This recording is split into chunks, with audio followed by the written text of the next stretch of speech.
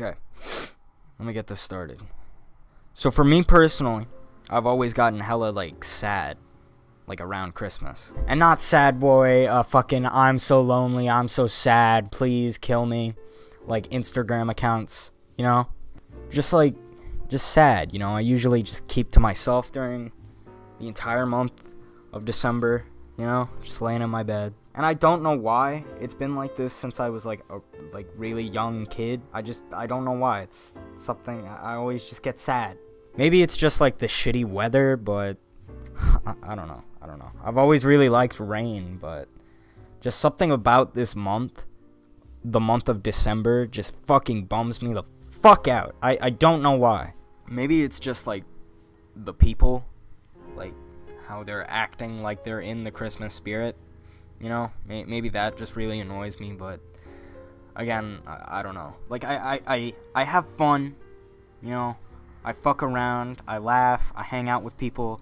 It's just, I get bummed hella easily. I, I, I just, again, I don't know. I don't know how to describe this. This is just a feeling that I have. So every year, on, on uh, you know, near Christmas, I always watch these Christmas movies like everybody fucking does. You know, I, I watch classics that I love. You know, the original Grinch, the the uh, the Jim Carrey Grinch, Elf. I watch that. Pretty, pretty, you know, just just fine Christmas movies. And one movie I used to watch that I don't, that I haven't seen in a really long fucking time, is uh, a Charlie Brown Christmas special. Like I haven't seen that movie in years, man. And uh, you know, one day I popped it on and uh, I watched it. And listen to me when I say this this movie is absolutely just fine.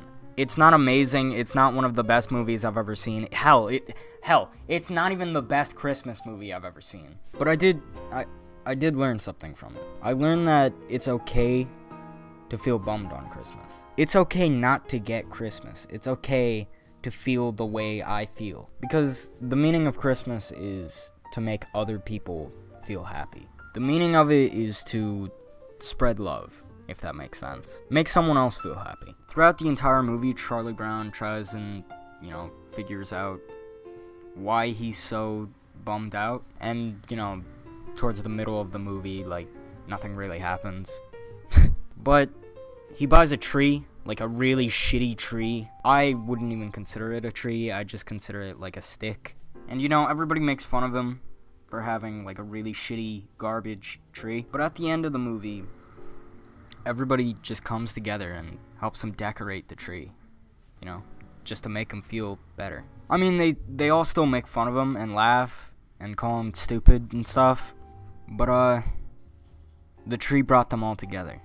I don't know, just spreading love, I guess. But um, sorry this video was so short and all over the place. I just wanted to make a video about this, cause I don't know, thought it would be good, cause I haven't uploaded in fucking 15 months. So uh have a have a merry Christmas. Just spread the love. You know? Spread that spread that love.